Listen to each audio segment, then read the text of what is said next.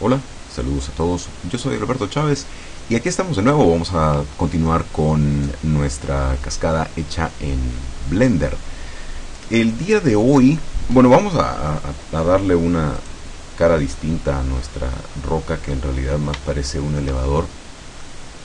Esto es, por supuesto, eh, por falta de memoria la última vez no la eh, no la modificamos en lo absoluto pero pues hoy es cuando chile verde le hace dar sabor al caldo y pues nada vamos em, siempre recordemos que tenemos em, la edición proporcional en random así que es así como vamos a estar trabajando nuestras eh, bueno en especial esta ¿no? la roca esta que va a servir también de obstáculo al agua que va a estar fluyendo a través de ella.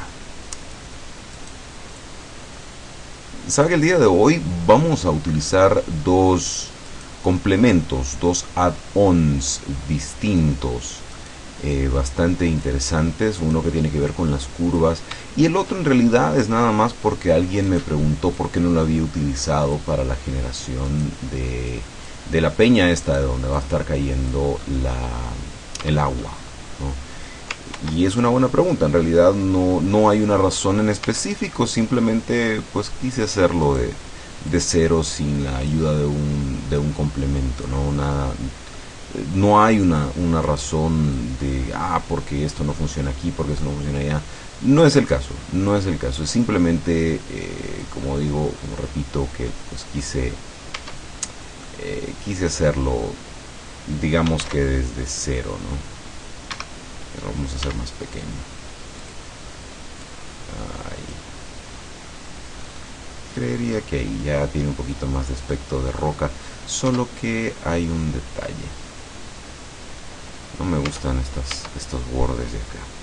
Así que lo que voy a hacer me deshago momentáneamente de la edición proporcional.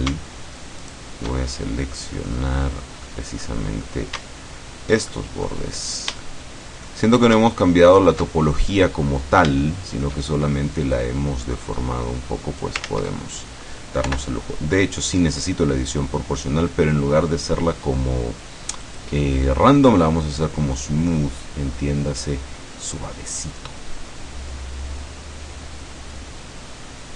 Digamos ahí y vamos a traer todo. Epa, epa, epa, epa, tranquilo, tranquilo. Digamos aquí. Y. Ahí. Tal vez ahora regresemos a random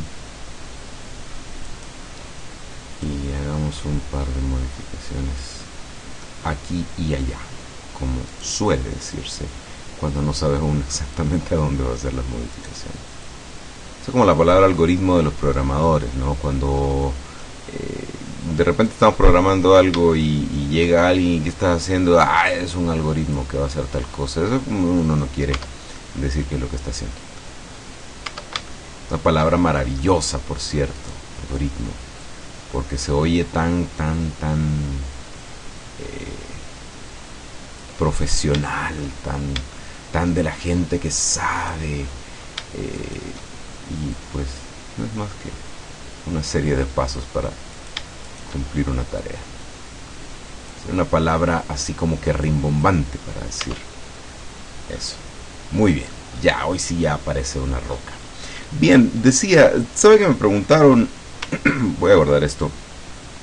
Control Shift y vamos a agregar, vamos a presionar el signo de más. Acabo de darme cuenta de algo y yo sé que usted se dio cuenta desde el principio, así que mis más sinceras disculpas.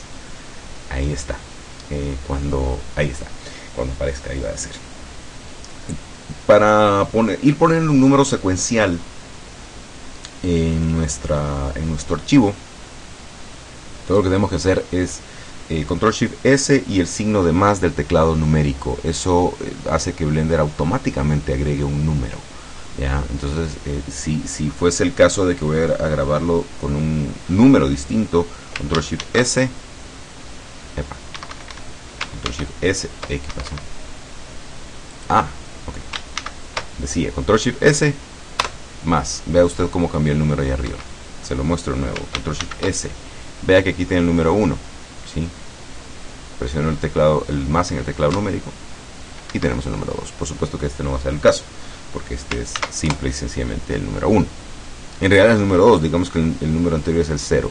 Digamos que estamos contando como en, notación de arrays.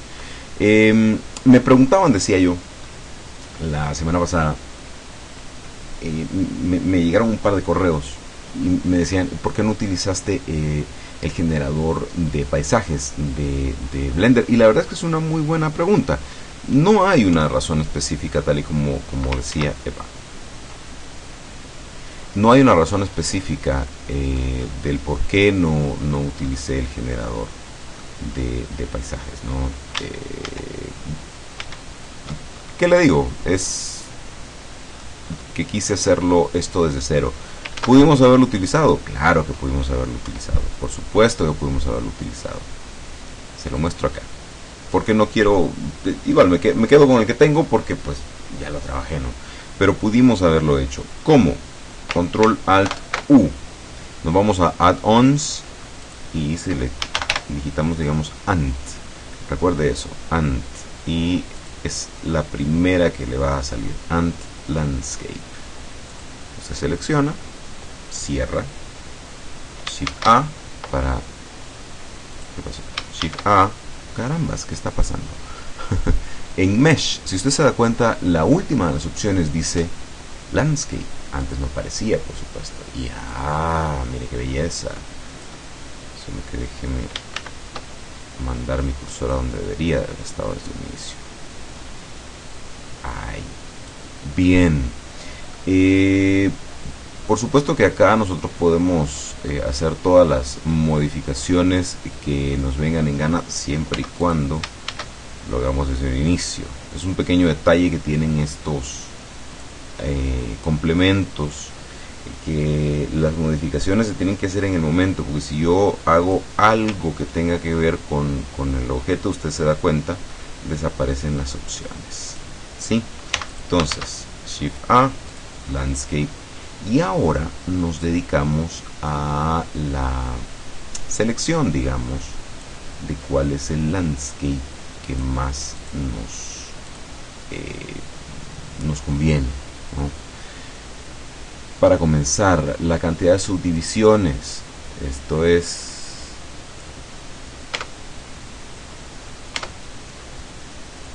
Ah, no, no, ahí, ¿sí? Mientras más subdivisiones tenga, por supuesto, son más caras, pero también, por supuesto, es mayor el tiempo de renderizado que esto va a utilizar. Así que, pues, tenga eso muy por favor. Si se da cuenta y una de las ventajas y al mismo tiempo desventajas de esto es que él recuerda la última la última modificación que se le hizo. Así que si usted se da cuenta tenía 300 y algo de, subdivisiones la cara esas son las caras en el modo edición. Si yo hago edit aquí si se da cuenta nos vamos al modo edición pues con tab em, la cantidad de caras disminuye dramáticamente de nuevo el tamaño del mesh eso tiene mucho que ver obviamente pues con el tamaño eh, o, digamos la cantidad de terreno que va a abarcar nuestro objeto, nuestro paisaje. Eh, podemos utilizar el de tipo, usualmente se deja en multifractal. Si, eh, sin embargo, usted puede utilizar pues los que mejor le parezcan. Eh, de hecho, si usted se da cuenta, pudimos haber utilizado este, que es el tipo marble o eh, mármol, ya, porque es bastante más liso y si usted se da cuenta, pues pudimos haber utilizado esta montaña en específico para que la cascada cayese por ahí. sin embargo, pues no es necesario, nos quedamos con multifractal y cambiamos el random seed. Ya le explico a qué se refiere. Esto es la base, el, la textura base que se va a utilizar. Usualmente nos quedamos con Blender, pero podemos utilizar una textura Voronoi. El Voronoi es, eh, ¿cómo se lo explico? A ver, nos vamos acá, ¿sí? Voronoi es una, una eh, serie de, de, patrones. Por favor, véalo acá donde dice preview cuando yo seleccione Voronoi. Estos son los patrones Voronoi. Estos son bastante conocidos en, eh, en el mundo, digamos, fractal, pero no solo ahí, por supuesto, no, crea usted. Eh, ok, me salgo de él porque obviamente ya no podía seguirlo modificando. Eh, pero volviendo al punto, eh, yo puedo utilizar pues el, que mejor me parezca. Yo en lo personal, rarísimas veces utilizo otro, otro que no sea el Blender, ¿ya? El, que viene predeterminado. Pero volvemos al punto, si usted se da cuenta, este con algunas modificaciones pudo haberse utilizado perfectamente para, la, eh, para el generado de nuestra cascada. Pero bueno, eh. Este es el, original. Y le decía, podemos llegar en un momento determinado a través de Random Seed. Usted se da cuenta. A por lo menos lejanamente lo que andamos persiguiendo. ¿ya? Eh, ¿Qué es este random seed? Por decirlo de alguna forma, es un número aleatorio eh, en el que, dependiendo del número que se seleccione, así va a ser la modificación que reciba nuestro paisaje. ¿Ya?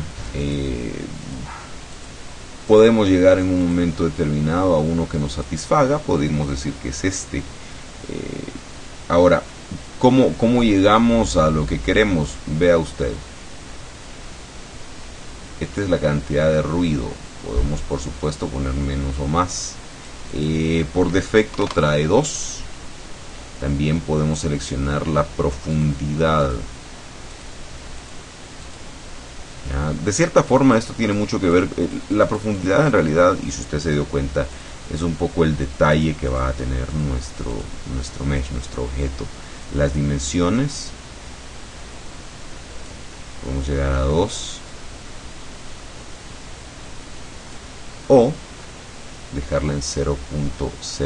Estas son, digamos que son las dimensiones de la, mm, eh, por decirlo de alguna forma, eh, podríamos decir que son las dimensiones de la altura de lo que estamos trabajando, ¿no? Eh, digamos, manejémoslo como la altura, en realidad es un poco una mezcla entre el ruido y la, y la altura, no solamente es la altura per se. La, la en realidad es un poco, eh, digamos que es como la, el espacio que va a haber entre, si usted se da cuenta, esto es una especie de, de onda, ya de frecuencia. Entonces, el espacio que hay entre una y otra lo define este, esta opción de la Eh, ¿Qué le digo? podemos en gran medida trabajar eh, sin necesidad de conocer qué hace cada uno de estos y llegar a lo que queremos. Pero creo yo que también ayuda y mucho eh, saber qué es lo que estamos, eh, qué es lo que estamos trabajando, con qué estamos trabajando. Bien, esta cuestión de la altura llega a un tope, por supuesto, ¿no? Hay un momento en que deja de crecer. Usted se da cuenta, todo va a depender, por supuesto, de la altura original de nuestro objeto. Pero hay un momento en que deja de crecer, ¿ya? Para nuestro, para nuestro caso, dejará de crecer en el punto 74, ¿ya? Es eh, este pico de acá, si usted se da cuenta, deja de crecer y todos llegan ahí.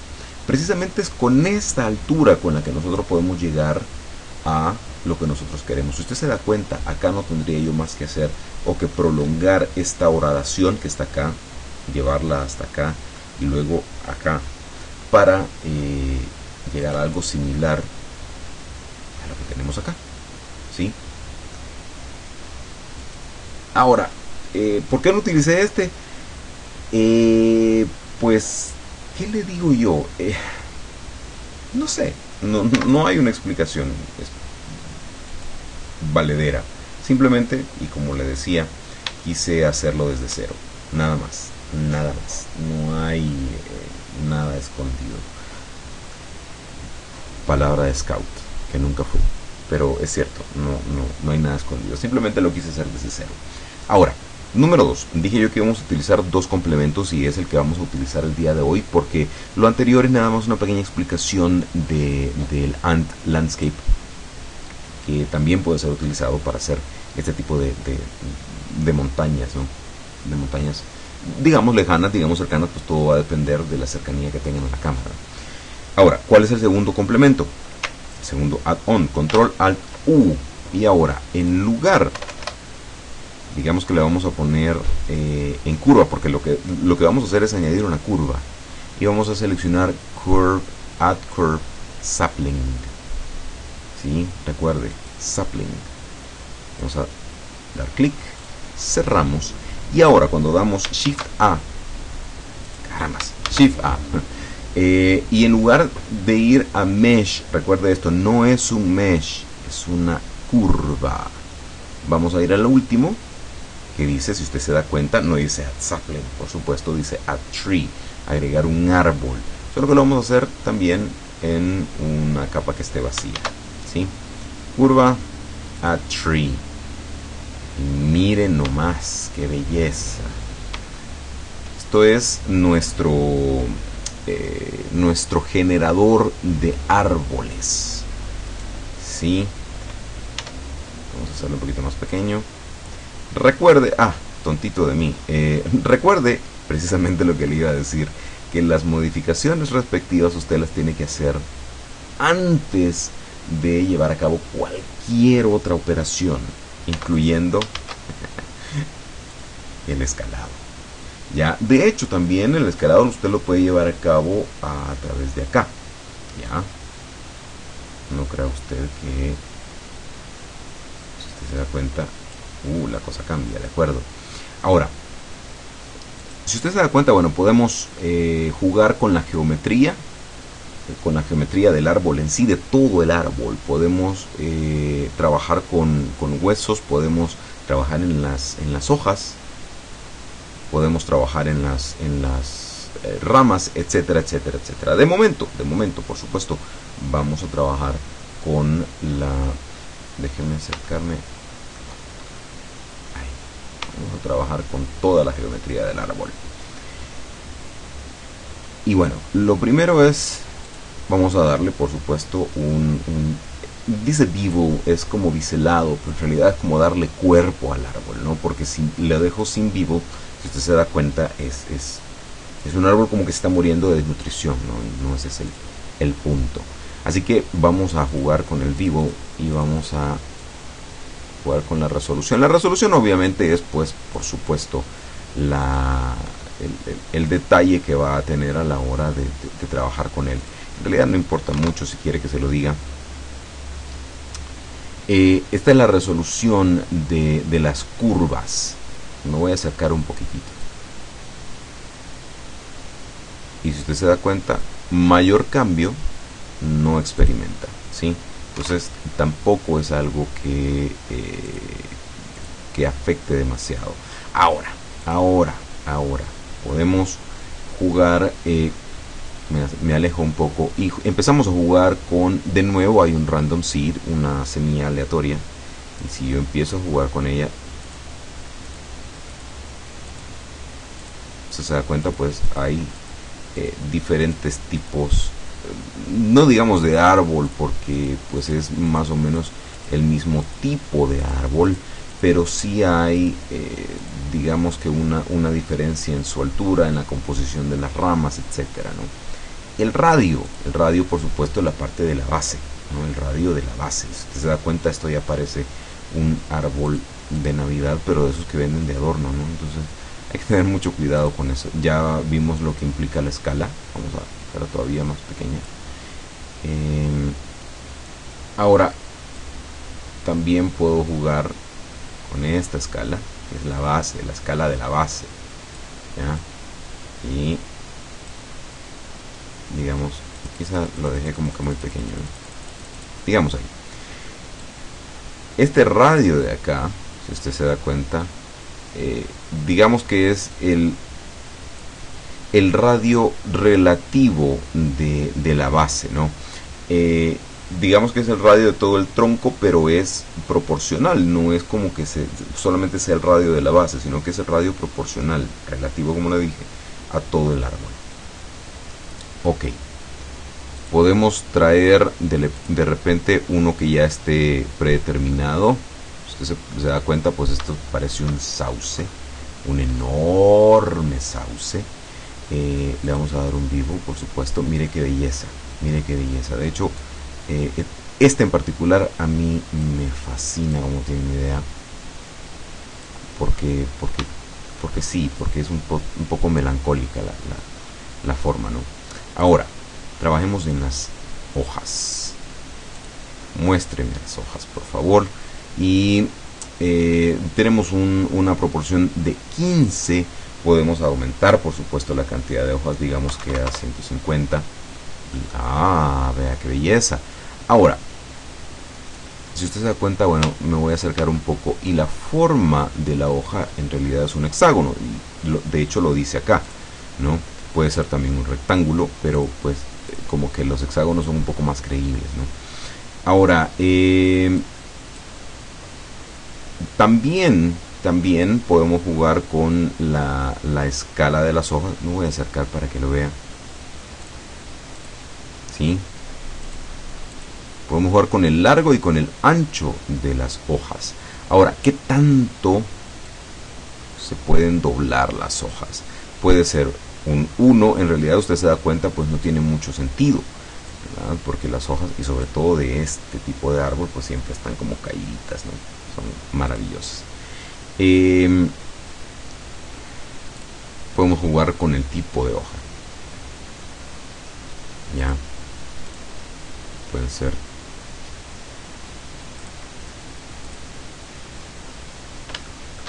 ahora este este eh, esta opción en realidad no es la forma no es la forma de la hoja, no es que usted se esté seleccionando hojas cónicas o esféricas, es en realidad la distribución a lo largo del árbol. Si usted se da cuenta cada vez que yo selecciono una, la distribución de las hojas va cambiando significativamente, correcto. Entonces es precisamente esto lo que lo que eh, lo que estamos cambiando con esta con esta opción, ya. Epa, es acá. Eh, sí, repito, esto es simple y sencillamente el posicionamiento de las hojas ya a lo largo del árbol. Ahora, este es uno. Por supuesto, una vez que tenemos el árbol tal y como nosotros lo queremos, hay que hacer dos cosas. La primera es verlo junto con nuestro paisaje. Si usted se da cuenta, va a ser obscenamente grande en comparación a nuestro paisaje. Es más grande incluso que el tronco, eh, que, eh, que nuestra, nuestra peña ahí de la, cascada. ¿no? este lo quiero arriba, por cierto. Digamos acá. Eh, estoy consciente de que no se va a ver del todo, ¿no? Hay que, eso hay que decirlo. ¿Sí? Pero por supuesto también hay que jugar con el tamaño. Digamos, ahí, para que, para que se vea la mayoría del árbol, ¿no? Em, ahora, recordemos que esto todavía está aquí en la capa número 2 y por supuesto que no es el único árbol que vamos a tener que no, por supuesto que no. Ah, qué tontito. Eh, déjeme, déjeme lo quito de aquí. Déjeme regresar mi cursor al centro. No sé, tengo tendencia a trabajar ahí. Y ahora vamos a darle el vivo respectivo y vamos a decir que sea este black to pillow. si se da cuenta es un arbolón Menos mal que no hay un secuoya por acá porque entonces estaríamos fregados. Y bueno, vamos a, trabajar en estos momentos la escala que está tremendísimamente alta. Vamos a dejarla más o menos a la altura de nuestro, del otro arbolito, ¿no? De hecho, esto es lo más pequeño que puede ser este árbol. Cosa más rara, ¿eh? y digamos que...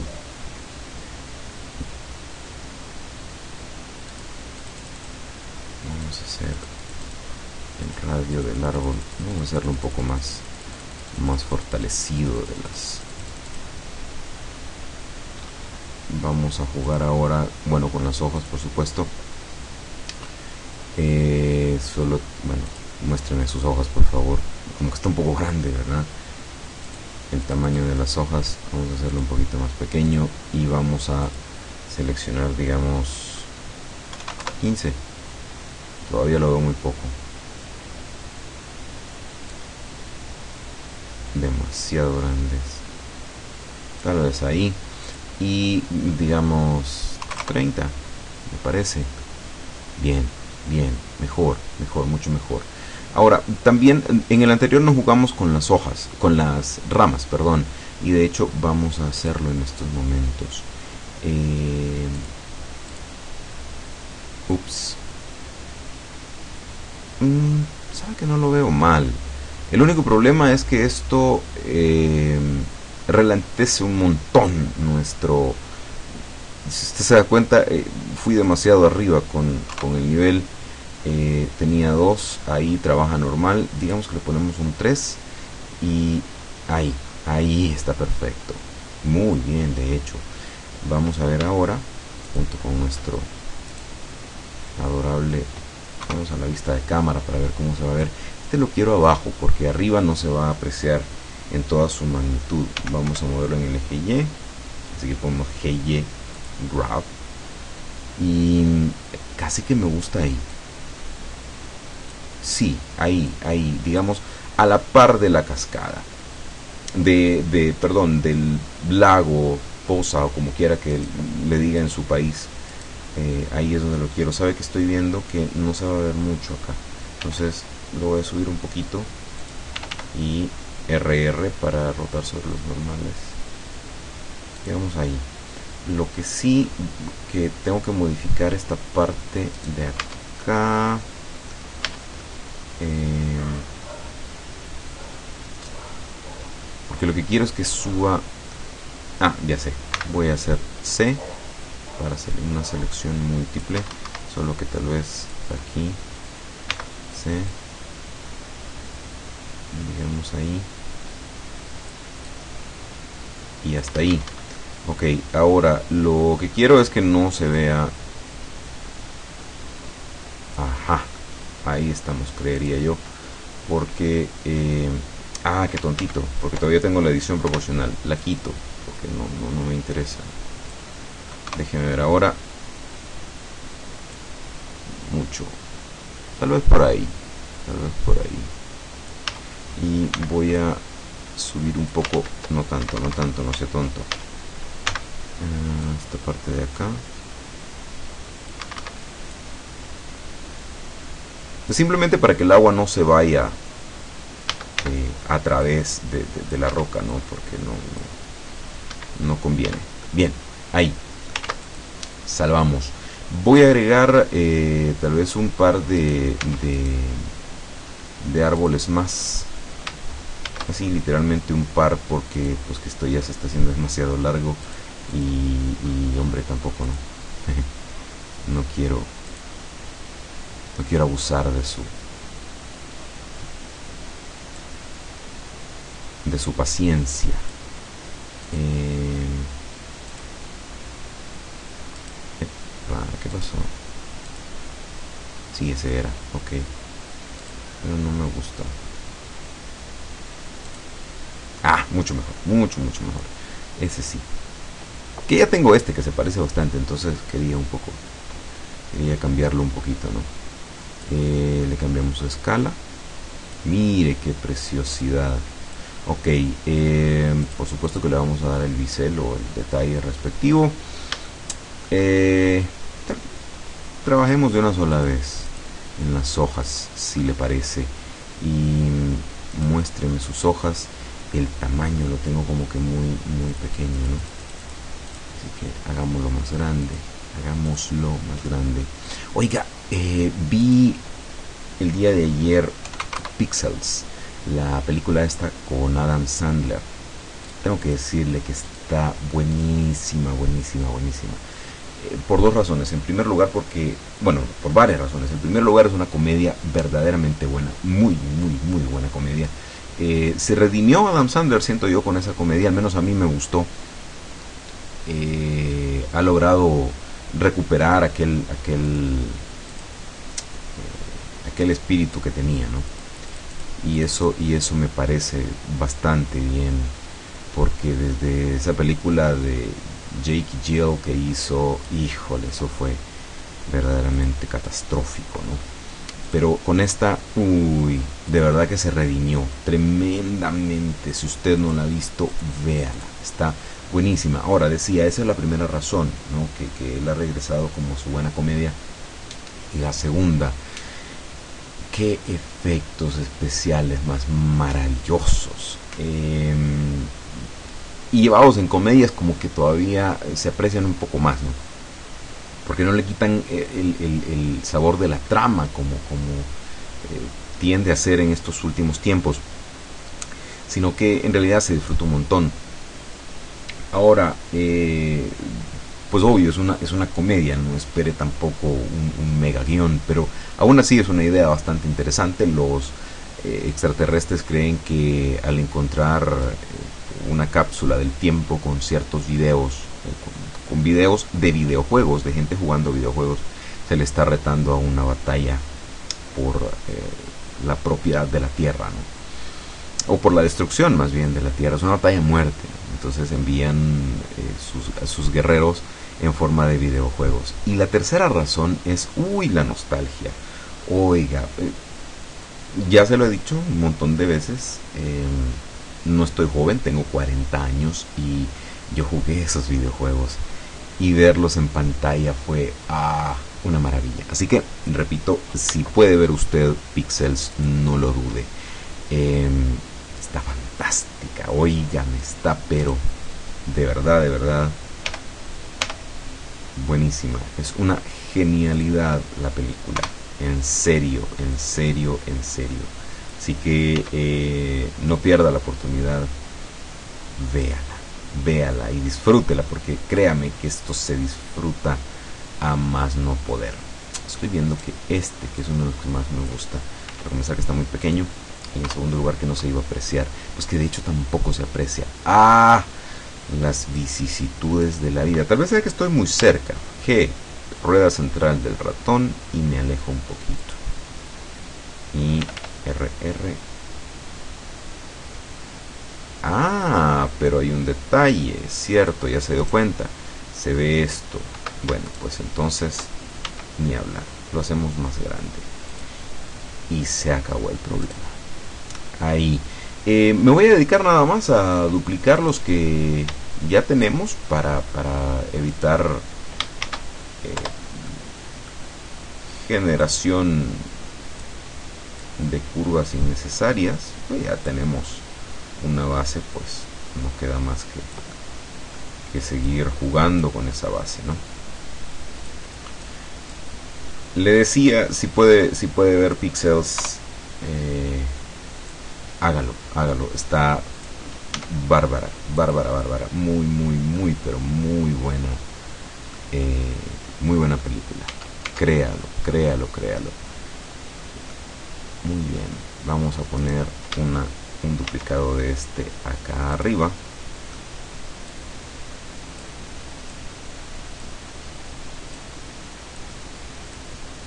Y pues nada yo creo que para, para muestra un botón eh, lo vamos a hacer más pequeño. Voy a llevar este arriba para que esté cerquita de la cascada. Y quizá que me, agrada el tamaño. Nos vamos a quedar el día de hoy por acá.